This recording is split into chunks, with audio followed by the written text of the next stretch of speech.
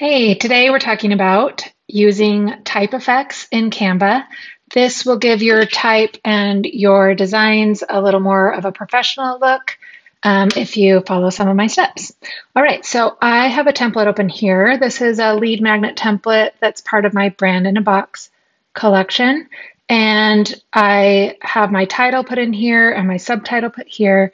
And now when I click on this, I have some options. So I'm just going to bold this font for now, and then I'm going to go up to effects on the top bar. And when I click that, I get all of these options here. So while this is selected, I can do any of these options to this text. So let me just show you when you add a shadow, you can change the color of the shadow if you wanted it to be a darker shadow um, if you wanted it to be a lighter one.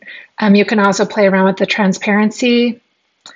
Um, you know, obviously we wouldn't want it to be like that. So you can play around with the transparency that way. You can change the color by clicking on that box. And I change it to a yellow, but you can't really see the yellow, so I'm going to bump up the transparency there. All right, and then the direction you can change if you want it to come in from a different angle. And then blur if you want to just soften out the shadow. And then offset, you can offset it um, whatever you're wanting to do there. So I'm going to change this back to a darker, more of a green color and take the blur out and move the direction a little. Okay, so that's one of the options. And now let's try, let's go back to none. And now let's go to lift. So lift, this is on a dark green background, so it's a little hard to see, but if you turn up the intensity, you can see there's a little bit of a glowing around it. See how it's getting a little darker around it? And when you just step back and look at that, you can see it popping off the page. It looks more like an ad that you would, you know, you would probably see done by a professional. Um, okay, so now let's try the hollow. So there's the hollow. And when I use hollow, I like to change the thickness, like play around with the thickness there. Um, you know, you'll, and then you can change the color up here. So it's, this is the main font color. So go up there and play around with some things. Um, you'd want it to stand out enough. So that might not be the best choice on this design, but that is how you do it. Okay. Let's go back to effects again.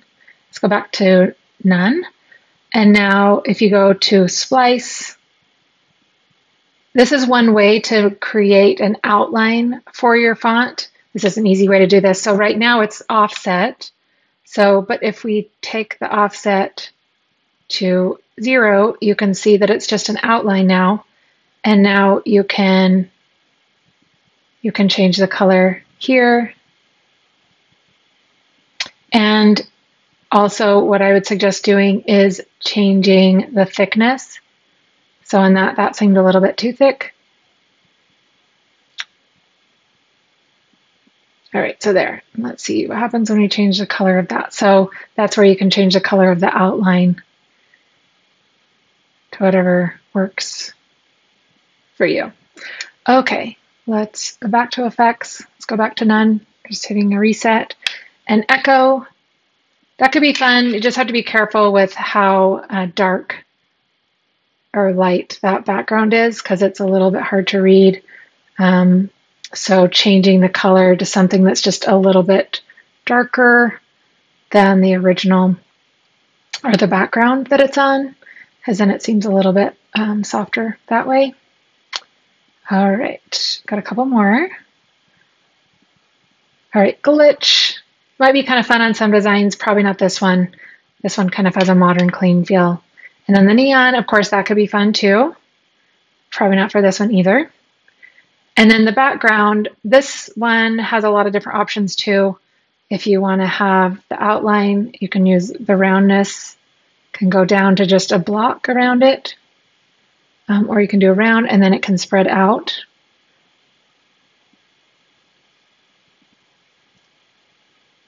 All right, then you can change the transparency. I think this one is good for um, maybe a graphic for Instagram or Instagram stories or reels. It kind of looks like something that you would type in on Instagram. So that's one reason I like to do use that, but definitely not for this one. So I'm going to go back to original. And then, um, of course, you have the curving font that you can use here. And let me just show you an example of that. So I'm just going to hit the T on my keyboard. So that brought in some text for me. Let me bump it up quite a bit so you can see what I'm doing here. And let me change the color to white so you can see. Okay, so I've got this here, and now I'm going to go back to effects, and then I'm going to hit curve, and I can, it curves the font for me. So, and then you can spread it out that way. And you can also spread out the letter spacing like that. And that's one way to do the curve. And then you can always go in and reset it back to none when you're done. All right, so play around with those effects with your type and have a lot of fun. All right, we'll see you next time.